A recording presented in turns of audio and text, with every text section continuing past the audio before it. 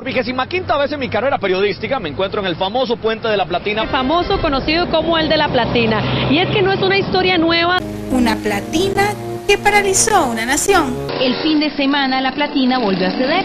Nuevamente un arreglo provisional. Este es un puente pequeño, es un proyecto pequeño que nos enredó durante demasiado tiempo. Aquí se comprometieron también esfuerzos de tres administraciones anteriores. Pero esta la va a terminar y la va a terminar en un año como máximo. Y señor ministro, usted tiene la responsabilidad de cumplir con esa palabra empeñada ante los costarricenses.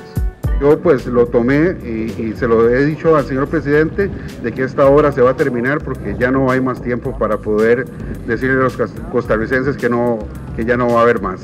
Ese es un compromiso personal y así quedó sellado en varias de las intervenciones que yo he tenido.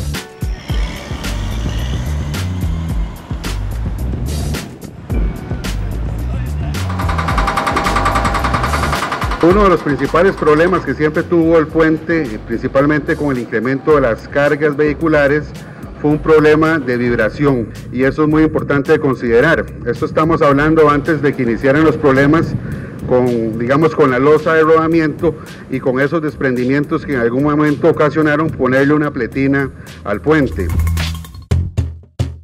Para corregir los problemas de vibración, el puente sobre el río Virilla se reforzó en toda su estructura inferior. Actualmente, el puente resiste las cargas de tránsito y está acorde con las más recientes normas sísmicas. Lo que sigue es realizar la ampliación del puente a seis carriles. Para ello, durante ocho meses, se realizará un trabajo de ampliación solo en la parte inferior, lo cual no afectará el tránsito. Allí se aumentará el tamaño de las vigas llamadas cabezal, que están en los marcos de bastiones y pilas. Además, se instalarán nuevas cerchas de soporte laterales, sobre estas estructuras se colocarán nuevas vigas y diafragmas, que serán el soporte de una serie de losas a base de loseta prefabricada. Estas losas conformarán el piso de los nuevos carriles. Para terminar, se colocará una carpeta de asfalto. El trabajo en la estructura superior se hará a partir del octavo mes. La inversión asciende a los 14 millones de dólares. Hoy lo que estamos haciendo es, en cierto sentido, dando un banderazo de salida para todo lo demás que viene, que sí es grande, que sí es nuevo.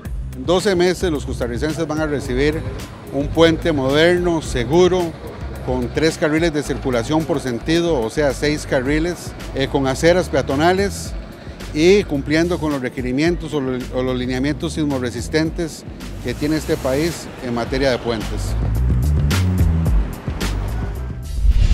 Por una ciudadanía mejor informada, visite gobierno.cr.